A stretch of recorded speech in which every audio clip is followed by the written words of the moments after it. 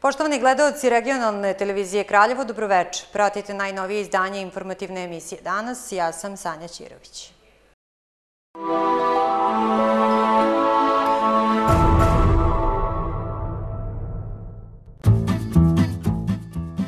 Prijatelju moj, nikad ne možeš da predvidiš sve okolnosti. Za čas se vreme promeni. Dođu neke struje iz stranih voda. Ne kaže se za džabe da se dva puta raduješ. Jednom kada kupiš brod, a drugi put kada ga prodaš.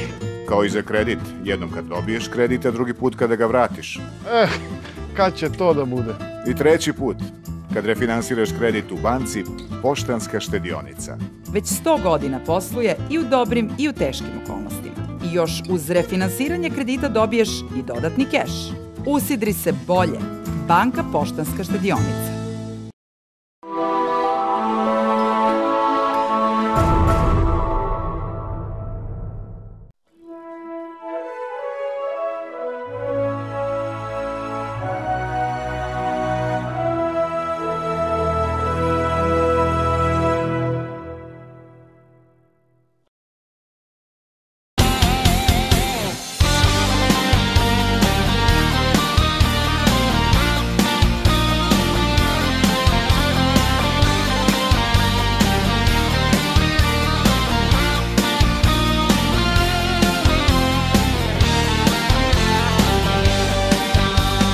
Dragi kraljevčani, vidimo s 3. decembra na besplatnom koncertu Amadeus Benda u hali sportova. Dobrodošli. A ja bi zadnju kap krvi tebi dao I pred tobom na kolena bih pao Još uvek mi ti tečeš venama Željo moja jedina Željo moja jedina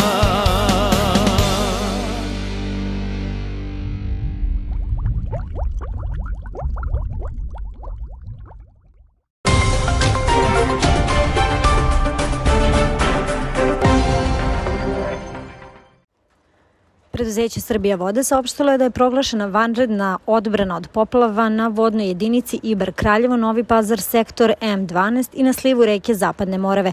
To javno preduzeće na svom sajtu navelo da je proglašena redovna odbrana i na vodnoj jedinici Lim, Prijepolje, sektor S7.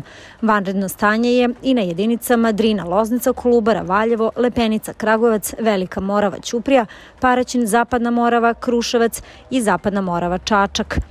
Službe Srbija vode i vodoprivredna preduzeća kako se dode sprovode sve mere kako bi na kritičnim deonicama ublažili izlivanje vodotokova.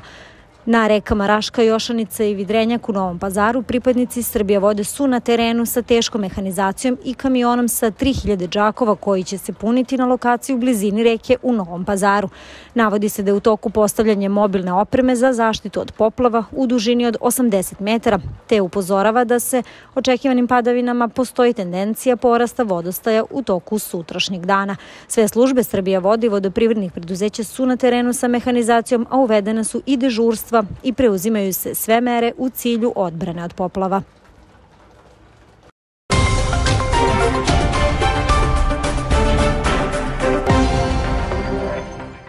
Predsjednik Srbije Aleksandar Vučić najavio danas da će otputovati u Brisel na sutrašnji sastanak, istakavši da putuje ne zato što misli da može da se napravi neki dogovor, već zato što ne želi da im pruži razlog da kažu da Srbija ne želi da učestvuje. Vučić je na televiziji prva na pitanje da li očekuje dogovor u Briselu rekao da nije optimista. Na konstataciju State Departmenta i Josefa Borelja, koji pozivaju Kurtija da odloži odluku, upitan šta misli da će se dogoditi, Vučić je odgovorio, ne mislim ništa da je hteo da odloži odluku, odložio bi ranije. Predsjednik Srbije izjavio danas i da je Priština krenula u operativnu akciju smišljenu za proterivanje Srba sa severa Kosova i Metohije. Mir na Kosovo i Metohiji zavisi od zapadnih sila i toga da li će pritisnuti Prištinu, da li oni žele mir ili ne i od ničega više. U Kurtijev racio odavno ne verujem, ne želim da kažem ni jednu ružnu reč o njemu i to je to, rekao je Vučić. Na pitanje šta će se dogoditi ako dođe do odlaganja preregistracije vozila, Vučić je odgovorio da nam to ništa ne znači. Predsjednik izjavio da veruje Americi da pokušava da ubedi premijera privremenih prištinskih institucija Albina Kurtija da dođe do dogovora za razliku od Evropske unije, posebno Nemačke, kojima ne veruje ništa što se tiče Kosova i Metohije.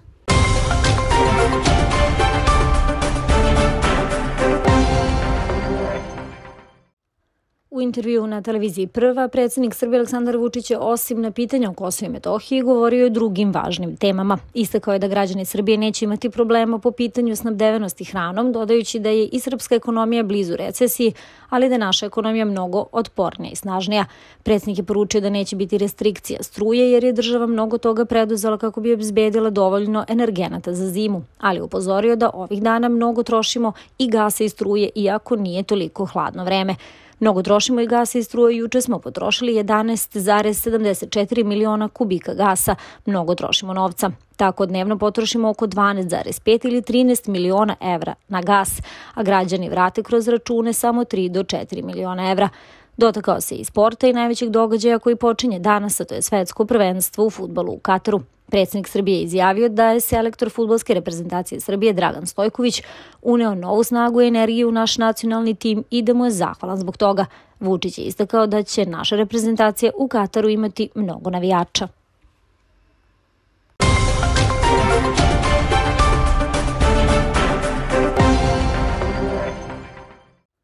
Predsjednik Aleksandar Vučić izjavio danas da će bez obzira na sve što se događa u svetu, kao što je i najavljeno, od 2. i 3. decembra penzioneri početi da dobijaju uvećane novembarske penzije kojima će zajedno sa povećanjem u januaru penzije biti do sada najviše povećanje za ukupno 20,8 odsto.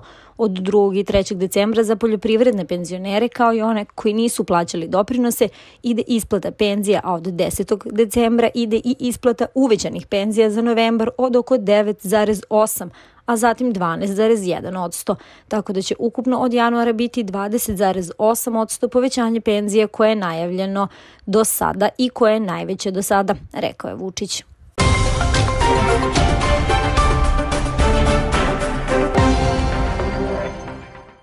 Dolaskom Aleksandra Vučića i Srpske napredne stranke na vlast, mnogo toga se promenilo u našoj zemlji.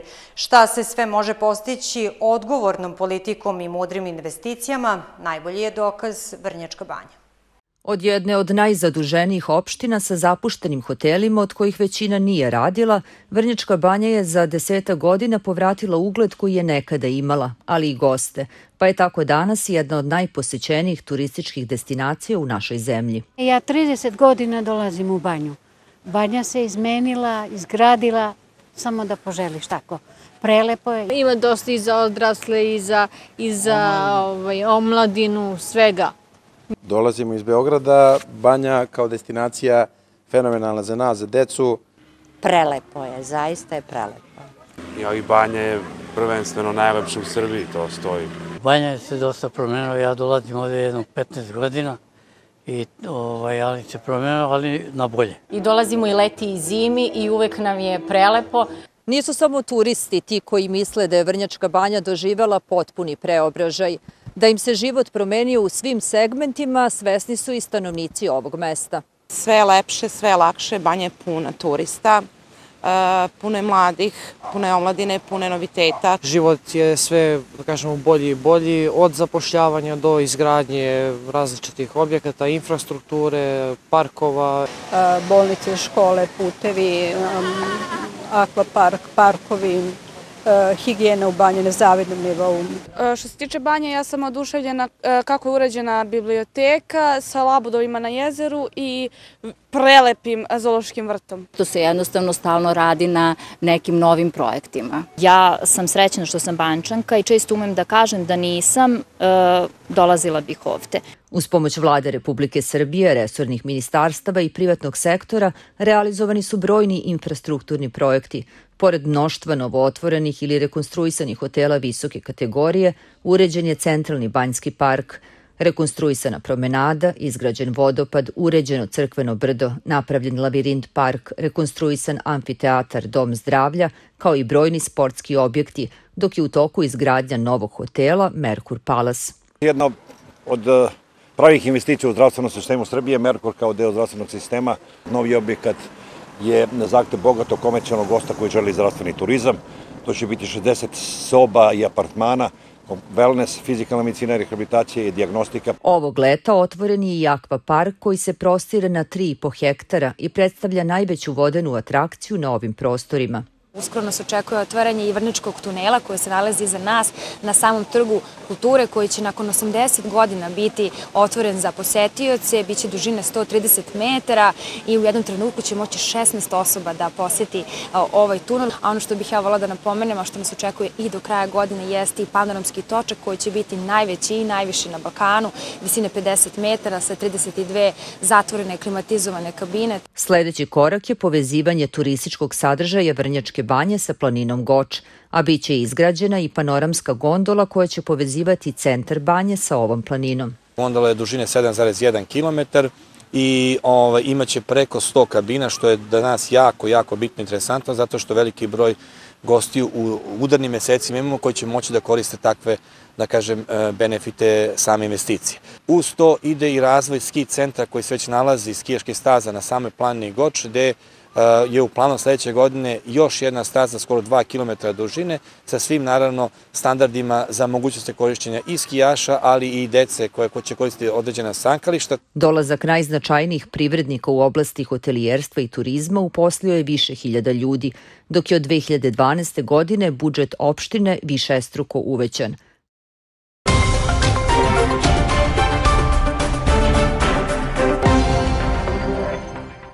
Udruženja građana, Kraljevački razvojni centar i Novi put organizovali su okrugli sto u našem gradu koji nosi naziv Put do veće korišćenja solarne energije na teritoriji grada Kraljeva za proizvodnju električne energije. Tom prilikom predstavljene su neke od aktivnosti, prezentovan je projekat kako da sunce greje i vaš kućni budžet, a govorilo se i o prednostima i manama korišćenja solarne energije. Okrugli sto na temu korišćenja solarne energije kako bi se povećala proizvodnja električne energije održan u Kraljevu na inicijativu Udruženja građana Kraljevački razvojni centar i Udruženja građana Novi put. Izneta su prva iskustva u korišćenju subvencija koje država i lokalna samouprava daju za ove namene. Stvar je u Srbiji pročela 2021. godine promenom zakonske e, regulative, stvorene su pretpostavke da može da dođe do podrške inicijativama građana i privrede da investiraju u izgradnju solarnih elektrana. Kraljevački razvojni centar je sproveo jedan projekat koga je podržao grad Kraljevo, koji smo nazvali kako da sunce greje i vaš kućni budžet. E, ishode koje smo ostvarili su, napravili smo jednu brošuru u PDF-u koja je postavljena na našem sajtu Nadam se da će biti na sajtu grada Kraljeva i ona na vrlo jednostavan način građanima objašnjava koji su to koraci kako mogu da ostvare pravo na svoju subvenciju. Sastanku u našem gradu prisustovali su predstavnici privrednog, civilnog i javnog sektora, gde su razminjene iskustva o protekloj prvoj godini primene normi za subvencionisanje solarne energije. Korišćenje solarne energije ima svojih prednosti, ali i mana. Prednosti ima, svakako i mana.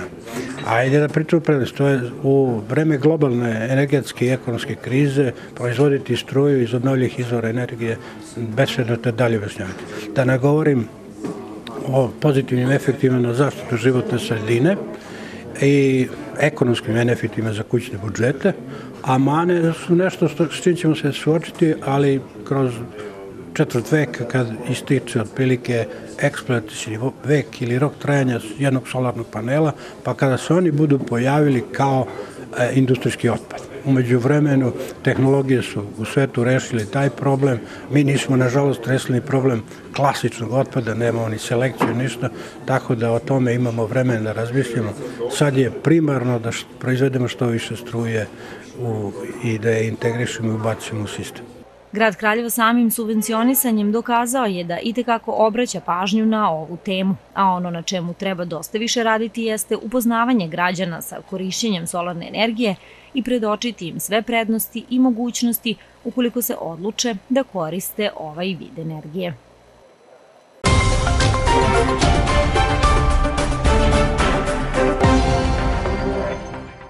Nešto drugačije teme u informativnoj emisiji danas. Dragan Kostić iz Leskovca tri puta nedeljno prelazi blizu 400 km da bi na Kraljevačkoj pijaci prodavao alevu papriku.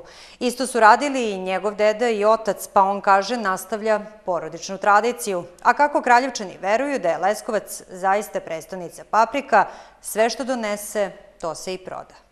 Već 60 godina porodica Kostić iz Leskovca dolazi da baš na Kraljevačkoj pijaci prodaje alevu papriku. Prvo je počeo deda, pa otac, a sada Predra Kostić nastavlja porodičnu tradiciju. Dolazim iz Leskovca, znači vikendom ovde budem petak, subotu, nedelju, zato što, što smo tu godinama i eto, Ima još neko iz Leskovca ovde da prodaje papriku? pa ovde nema, nema niko. Bez obzira da li je reč o slatkoj, ljutoj ili sušenoj, paprici iz Leskovca ni jedna druga ne može prići. U pitanju je, kaže naš sagovornik, veliki broj sunčanih dana, posebna vrsta paprike, takozvani kozi rog, ali i postupak branja i sušenja. On ima period sušenja negde 40 dana, a onda mi to pakujemo, stavljamo u sušari, dosušimo, meljemo i donosimo gotov proizvod ovde. A reklo bi se da su i kraljevčani navikli da se baš ovde snabdevaju alevom paprikom. Neki zbog navike, a drugi zbog posebnog ukusa koji ima. Pa ja stalno dolazim ovde da kupim papriku. Zašto? Pa ne znam, odgovara mi. Znači iz Da, Leskovca najbolja jeste, paprika? Jeste, jeste. Po čemu je drugačija ova paprika od ostalih? Pa zato što je ekstra ljuta i cena mu je dobra. Pa ima razlike da, iz Leskovca domaća, leskovačka prava, nego ova naša uvozna i tako, ima razlike. Ne može ni jedno jelo bez aleve paprike. A jel se razlikuje koja je dobra, koja je lošija? Pa ja tu ne razlikujem, za mene je svaka dobra. Koje jela ne mogu bez nje? Sarma, gulaš i tako to. Pasulj i to. A zbog svih onih kraljevčana koji ne mogu bez leskovačke paprike, nadamo se da će se porodična tradicija nastaviti još mnogo godina.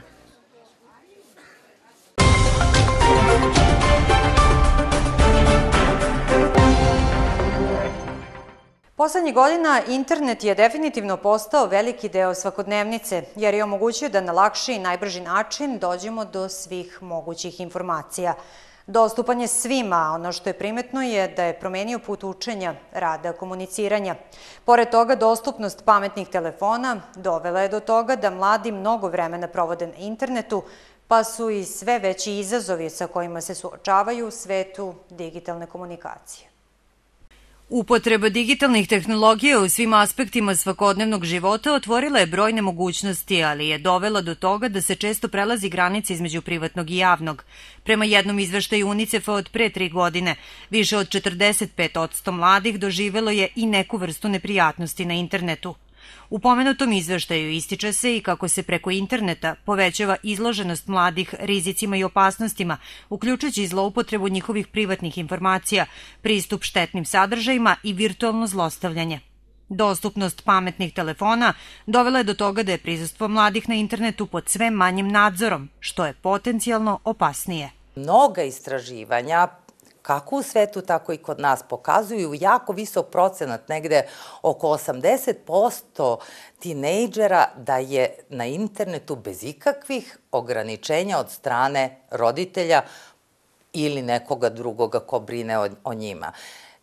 Takođe, ista ta istraživanja nas upozoravaju da mladi jako mnogo vremena provode na internetu i da se na tom, zahvaljujući toj otuđenosti od realnog života i od realnih kontakata sa vršnjacima, dakle od realnih života koji, no, koji neminovno mora da donese neko iskustvo koje u krajnjem cilju utiče na razvoj i ličnosti, i karaktera, i vrednosti, mladi čovek uh, se otuđuje, postaje povećano anksiozan i po, pojačano depresivan. I to su sve opasnosti na koje nailazimo. Najčešća aktivnost mladih na internetu je korišćenje sajtova za socijalno umrežavanje. Najpopularnije društvene mreže su TikTok, Facebook, Instagram i Snapchat. Ja koristim svakodnevno internet, a najviše, pa najviše za društvene mreže. To je sad najpopularnije i po, ponekad ono, i za školu, mislim, treba nam neke informacije, nam je lakše da to izgooglamo nego, na primjer, da uzmemo knjigu, ali tako je sad i otprilike to je to za društvene mreže uveče, to najviše, mi gubim vreme na tome, ali... Svakodnevno, da, ovaj, najčešće uveče, ali uglavnom to je tokom celog dana u školi, prepodne, uveče pred spavanje i tako. I zašto koristiš najčešće internet? Pa za društvene mreže generalno, ali i za školu. Da kažem, te, pošto je sad generalno ta cijela tehnologija napredovala, e, sve preko interneta, te internet učionici i to nam je jako neophodno trenutno, ali najčešće društvene mreže, generalno igrice su jedan deo moje svakodnevnice. U okviru formalnog obrazovanja neophodno je razvijati digitalne kompetencije mladih, odnosno podučavati ih kako da koriste internet na konstruktivan i kritički način, ali i kako da se bezbedno ponašaju na internetu. Internet može vrlo da bude koristan, znači bolje da je ovaj, e, dobar sluga, a znamo vrlo često da je veoma loš gospodar. Dakle, pitanje jeste upravo toga koliko smo mi spremni da ga prihvatimo kao, mi nastavnici pre svega, spremni da ga prihvatimo kao nešto što je pre svega neminovnost. Dakle, deca nam jesu na tom internetu i jesu na društvenim mrežama. Koliko ćemo se prilagoditi tome, naravno, zavisi od nas. Po mojim nekim shvatanjima i razmišljanjima, to je neminovnost. Sve više univerziteta, na primjer, na svetu gaji nešto što se zove online nastava ili hibridna nastava. Dakle, visoko obrazovanje je krenulo da negde preusmerava svoj tok manje ili više možda u Srbiji, ali ka toj vrsti učenja i organizacije. Prednosti interneta i društvenih mreža sa ciljem da Srbiju i njene lepote predstave na najbolji mogući način iskoristili su mladi kraljevčani Dušan Veljović i Milica Gajović. U februaru ove godine otvorili su stranicu Blue Cow Lista, broj pratilaca na Instagramu i TikToku svakodnevno raste, što Dušanu i Milici daje dodatni motiv da ovu svoju misiju nastave. 10. februara 2022. godine e, počeli smo veoma skromno. E, došla ideja da se napravi, da krenemo da pravimo videoklipove o Srbiji. Kad je početak, postoji entuzijazam, posle dve, tri nedelje taj entuzijazam se izgubi i onda je bilo prvo pravilo, ako ovo budemo krenuli, da ćemo izdržati 365 dana, bez obzira na šta se dogodilo. I naš neki cilj bio, ok, mi ćemo to postaviti na društvenim mrežama i ako bi uspeli da dođemo do nekih 100 do između 100 do 300 pratilaca mesečno, da će to biti naš uspeh i da će nam to biti neki veter u leđa. Međutim, desilo se nešto što nismo očekivali, to jeste da u proteklih ovih 8 meseci dobili smo negde oko 95.000 pratilaca i nekih 40 miliona pregleda na naše klipove, tako da, ali nastavljamo dalje svakog dana, bez obzira i na tu lepu činjenicu.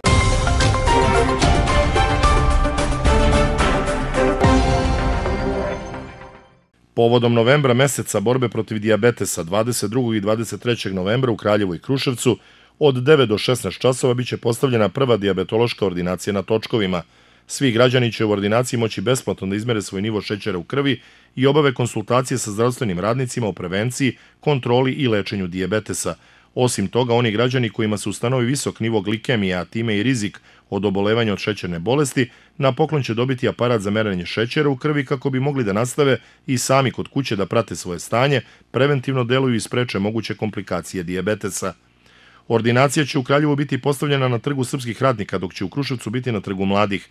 Ovi gradovi su jedni od 15 gradova u Srbiji u kojima se sprovodi ovaj projekat sa ciljem skretanja pažnje javnosti na važnost redovne kontrole nivoa glukoze u krvi kao najbolje prevencije u borbi protiv dijabetesa, jer se procenjuje da će do 2030. godine svaka deveta osoba na svetu bolovati od neke vrste ove bolesti.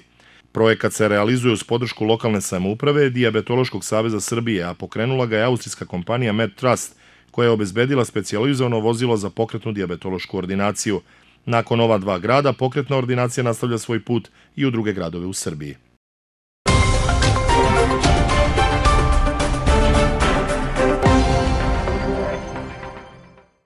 Pretežno oblačno sa čestom pojavom kiše je očekivano vreme sutra u Srbiji. Biće i hladnije, a u planinsko-brdskim predelima biće susnežice i snega.